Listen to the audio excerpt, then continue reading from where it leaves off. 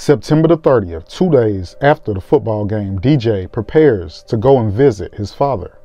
Samaya, DJ's mother, receives a supposed text from David saying he does not feel good and DJ does not need to stop by.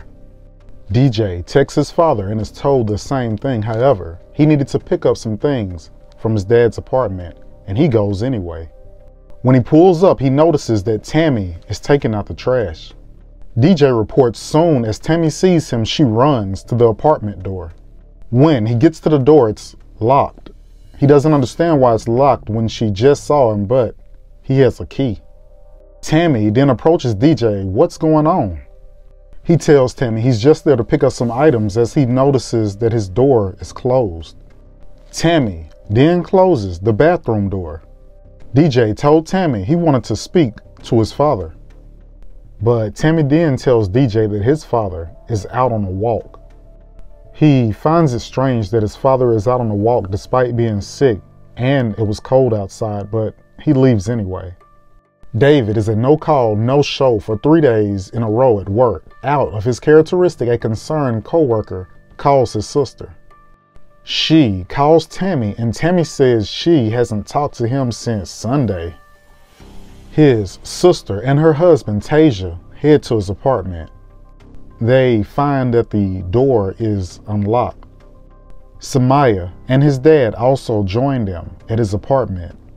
His bed was not made. His sheets were balled up. No way he leaves his apartment like this. He was a neat freak. Something was wrong. Tasia notices a huge red stain on the floor. It was as if the bed had been placed over it. The indentions on the carpet reveal the bed had been moved. Samaya, moving the comforter, sees what appears to be blood on the mattress and a hole. His father notices another hole on the bottom left corner of the closet door. He knew from being a soldier it was a bullet hole and he orders everyone out of the apartment. They file a missing persons report. The police suspect foul play. They form a search party, but Tammy does not attend. Instead, she goes to work as if everything was normal.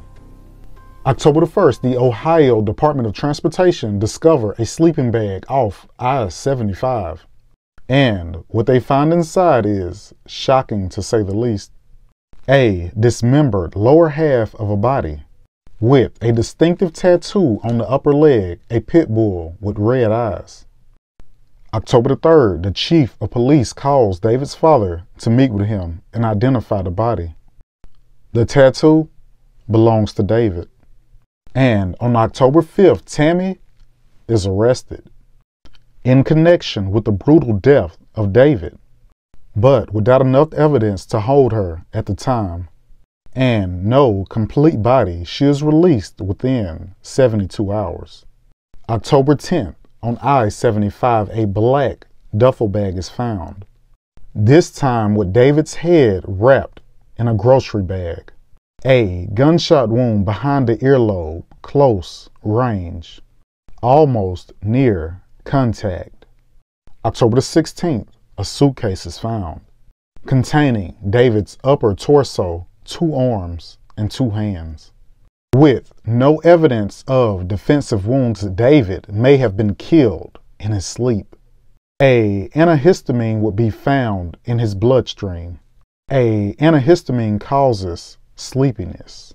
For more on this story and others like it, please take a second, click this link, and subscribe to my YouTube.